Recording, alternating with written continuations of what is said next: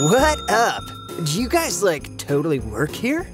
Oh, sweet. So I'm like on my way to Grandma's house for Christmas and just decided to crash here last night. Great decision, loved it, but I'm a total goofball and lost my room key. no biggie though, because all these doors will open if you can answer a question about the Christmas story.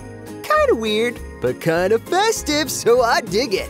Anywho, I'm kinda in a rush though, because I totally overslept. Love that snooze button!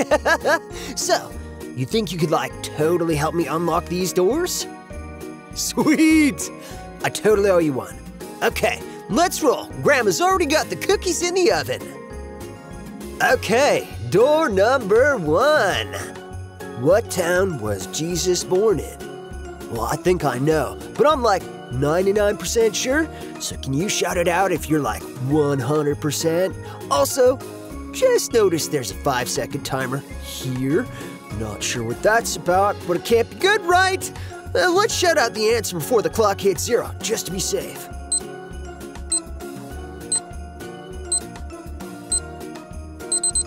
Boom! Bethlehem! Totally knew that. Glad you were here to help. All right, door number two. What did the wise men follow to find Jesus? Well, I'm guessing it wasn't Google Maps. Do you know?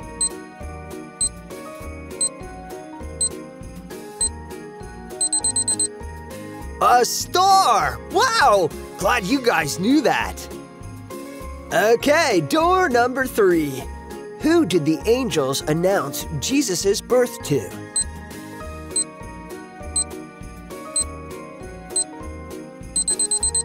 The shepherds! Right on.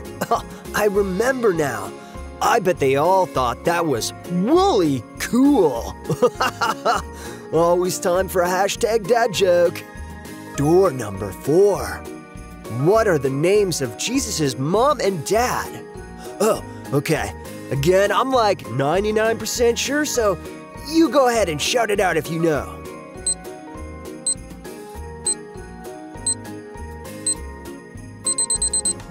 Mary and Joseph! Knew it!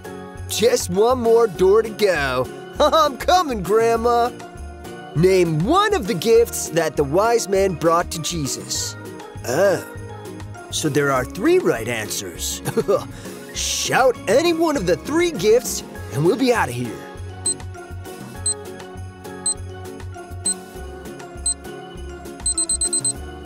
Gold, frankincense, and myrrh! Thank you guys so much for helping me find my way out. You should totally come to Grandma's house with me. She'll definitely have enough cookies for everybody.